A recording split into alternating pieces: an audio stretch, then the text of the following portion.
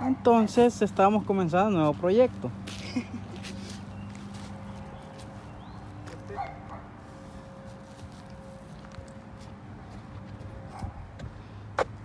No, la chenzo no es para cortar la grama.